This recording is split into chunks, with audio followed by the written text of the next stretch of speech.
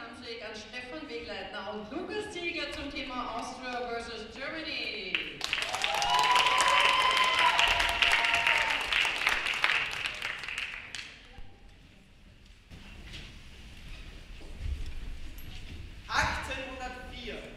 Das Kaiserreich Österreich wird gegründet.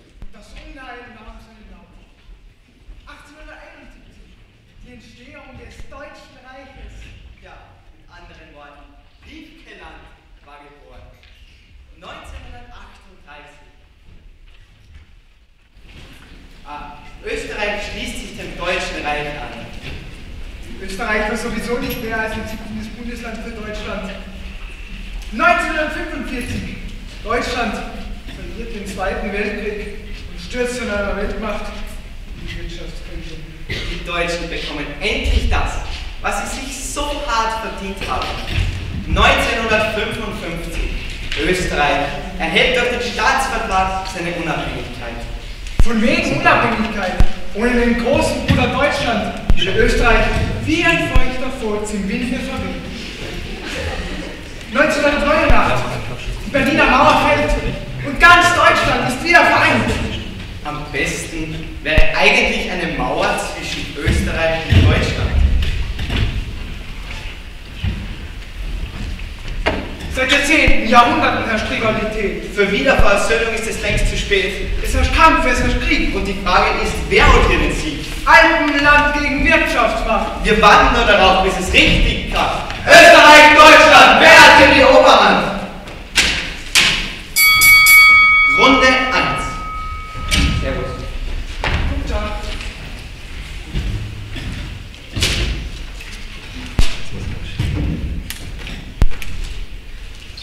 Sie, entschuldigen Sie, sind Sie zufällig aus Deutschland? Da wird doch der Hund in der Pfanne verrückt. Kann man nicht einmal in der Ruhe seine Zeitung lesen? Überall, wirklich überall, wimmelt es von diesen bösen Parasiten. In der Tat, woran haben Sie das nur erkannt? Österreichische Intuition. Ich meine, erstens hat er guten Tag gesagt und zweitens liest er da Bildzeitung. Dürfte Ihnen eine kurze Frage stellen, Herr Schmidt, Thorsten Schmidt. Depperter Name, wenn Sie mich fragen. Georg Freiheit ist gut. Was ich Sie fragen wollte, da auf Ihrer Zeitung steht was über die Frau Merkel. Ah, Merkel. Ähm, also bei uns in Österreich erfreut sich die seit der letzten Flüchtlingskrise ja über keine sehr große Beliebtheit mehr. Jetzt sagen Sie mal, mögt ihr die in Deutschland so gern oder gibt es einfach keine besseren für euch? Sagt ausgerechnet der Österreicher, der den Herrn Feimann als Bundeskanzler hat. Körperlich nur halb so groß wie sein Ego, aber dafür doppelt so groß wie sein Verstand.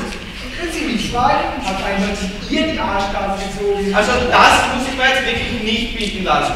Da fragt man nur, ob ihr in Deutschland die Merkel lieber mögt wie wir in Österreich und wird hinten und vorn verarscht. Eigentlich dürft ihr mich ja gar nicht wundern. Ihr Deutschen macht von uns sowieso das, was ihr wollt. Ja, stimmt schon so. Schließlich sind wir der große Bruder und ihr von uns abhängig. Wollen Sie damit sagen, Deutschland ist besser als Österreich? Ja, genau, genau das will ich sagen. Wir werden uns sicher nie vertragen. Seit Jahrzehnten, Jahrhunderten herrscht Rivalität. Für Wiederversöhnung ist es längst zu spät. Von wegen Deutschland der große Bruder. Wir sind doch immer, wir haben doch immer nur das Ruder. Alpenland gegen Wirtschaftsmacht. Wir warten nur darauf, bis es richtig kracht. Österreich, Deutschland,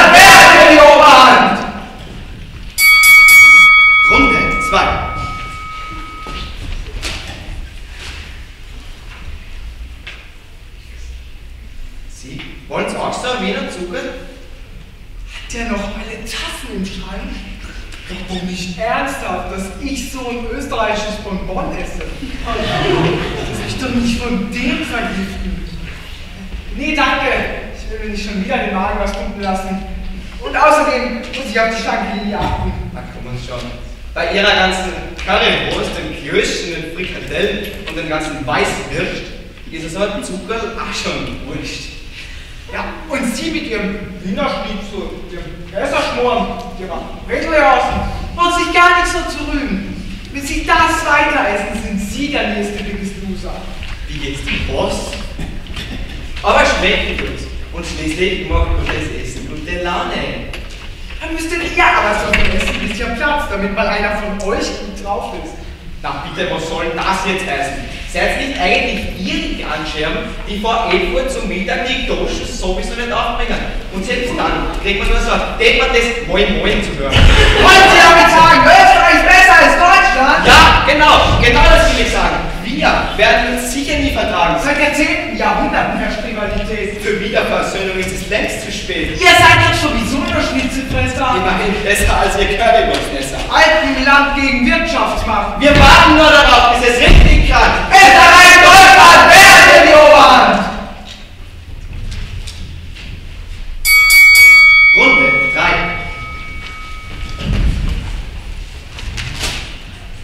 So, ich wäre jetzt aber gespannt, was Sie da so lesen. Die Kronenzeitung.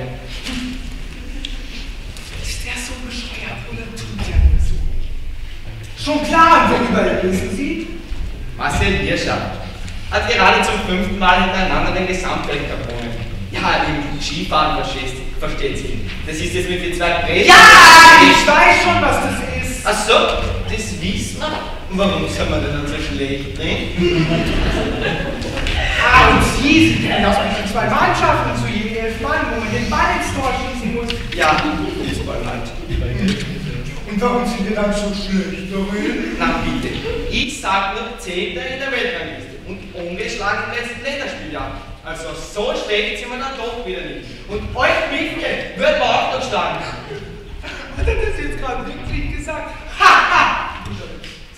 Wollen Sie damit sagen, Deutschland ist besser als Österreich? Ja, genau, genau das will ich sagen. Wir werden uns sicher nie vertragen. Seit Jahrzehnten, Jahrhunderten herrscht Rivalität. Für Wiederversöhnung ist es längst zu spät. Österreich ist die führende Skination. Deutschland sitzt am Fußballthron. Alpenland gegen Wirtschaftsmacht. Wir warten nur darauf, bis es richtig kracht. Österreich, Deutschland, wer hat hier die Oberhand? Eindeutig Deutschland. Wer kriegt dann? Sagen Sie mir, was besser ist. Berlin, Feierabend, Schnitzel, Sachertorte, Skifahren, Neuschauer, Eilersheim, Bayern München, Darmstadt, Schoderhose, Mozart, Andreas Gabanier, der Oberleib, Zone, Christoph Walz, Richard Lugner. Sollte die Oberhand Rot, Weiß, Rot. Wollen Sie damit sagen, Deutschland, äh, Österreich ist besser als Deutschland? Wer? Ich? Nein, Sie? Ja, Österreich ist besser als Deutschland. Jetzt werden Sie ja noch aufgeregt. Wissen Sie was? Ist das nicht eigentlich kompletter Blödsinn, was wir machen? Ich meine, wir haben die gleiche Sprache, mehr oder weniger. Die sehen auch eigentlich gleich aus. Ja. Und wir interessieren uns für genau die gleichen Dinge. ja, muss ich Ihnen recht geben. Wa- Warum begraben wir nicht endlich das Kriegsbein? Ja, einigen wir uns endlich auf Unentschieden. Unentschieden. War nie was.